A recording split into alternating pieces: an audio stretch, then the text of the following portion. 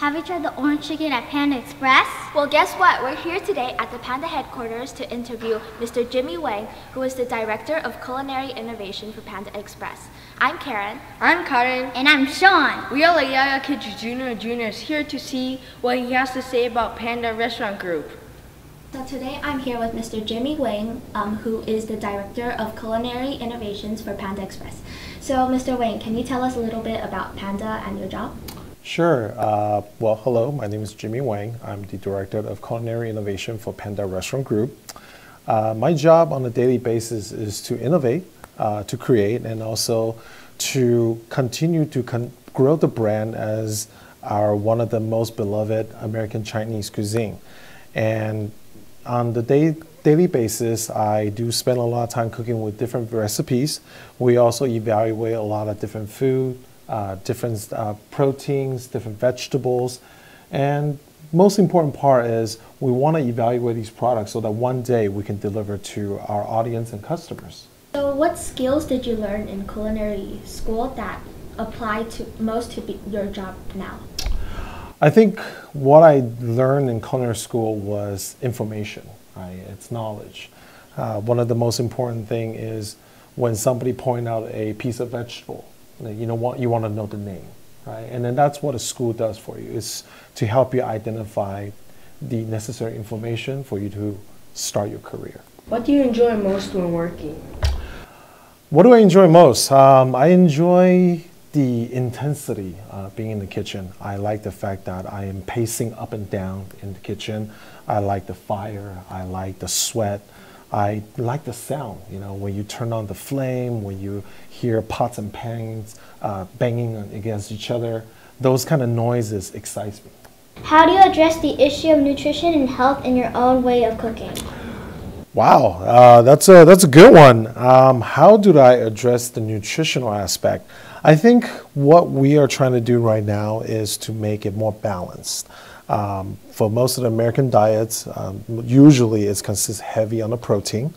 And in my time being with Panda, we've been trying to shift that. We've been trying to incorporate more vegetable, more varieties, and certainly bring to almost a 50-50 balance.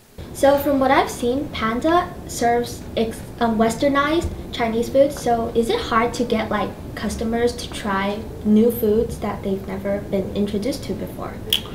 Yeah, um, you know, when when people are shy from something they don't know, right? Um, so what we wanted to do is slowly incorporating these secret ingredients, right? Something that they're not familiar with, but not so much directly presented in front of them, but hidden within something. So, you know, we could hit a special Chinese ingredient in the sauce.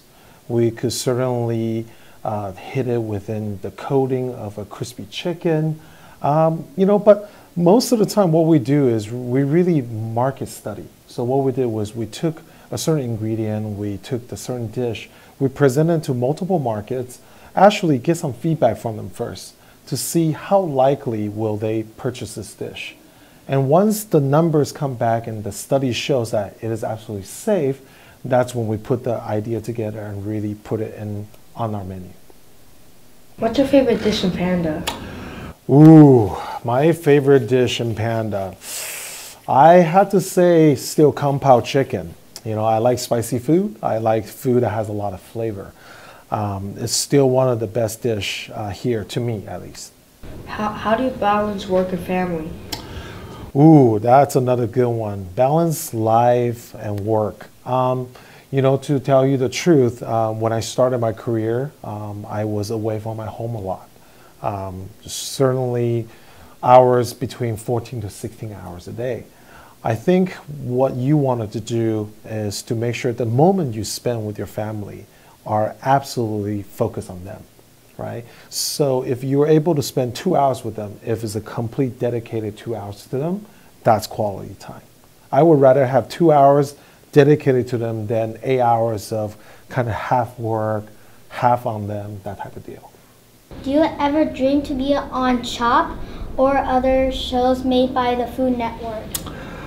You know, I didn't dream about it. I was actually on those shows. Um, so I had the privilege to work with Food Network a couple years back. I was on Chopped. I was also on uh, Cutthroat Kitchen. Um, it was a great experience. Uh, it was something new and different. I had an opportunity to work with camera crews, different competitors, and then also get to show everybody what I cook. Unfortunately, I didn't win. Uh, it is still a competition, right? So somebody will win, somebody will lose.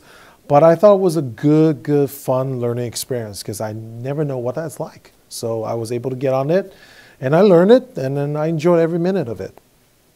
So, if your food was to be criticized by like um, a customer, how would you handle the situation? How would I handle it when they don't like the food? Um, well, you know, the, the, the truth is, not everybody's going to like your food, right? You're going to make food for majority of people, but there are times that majority of people don't like the food you make. And that is absolutely okay because that's your personal opinion. It doesn't stop me from being doing the best I can. As long as I know I put out the best food I can, that I'm capable, and if you don't like it, that's completely fine because there's something else on the menu you must like.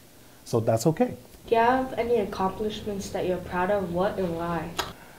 Accomplishment. Hmm. Well, this this is considered as one of the accomplishment. I've never been interviewed uh, with the younger kids before, young reporters. Um, but if I had to pick one significant one, um, I would have to say started my own restaurant.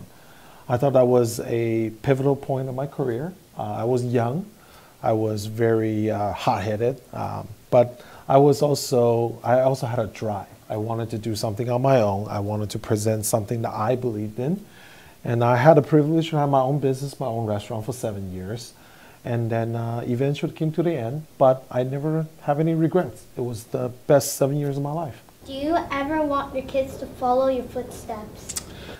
You know, I I don't know if I want or don't want. I can say that if they show interest, I will definitely help them um, because I, I, think that's a privilege of being their father. Um, but if they do speak out about, you know, they want to be a chef someday, I will show them the way. You know, I will show them the way and I will tell them how to get there. And it's uh, still up to them to accomplish that goal. So, what plans do you have for Panda in the future? Panda in the future, I think because my job is to think outside the box. So I really want to continue to innovate and then bring menu item that hasn't existed on the menu before.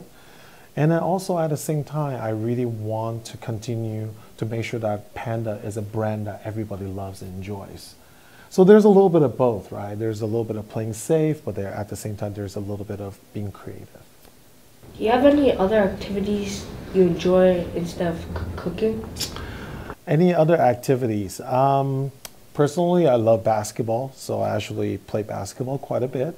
Um, I also enjoy watching my son and my daughter um, fencing. Uh, they're part of a fencing team and they're with a club and I just really enjoy watching them being active up and down a strip and then uh, taking them to these competitions and then I get to travel too. Thank you. Thank you guys.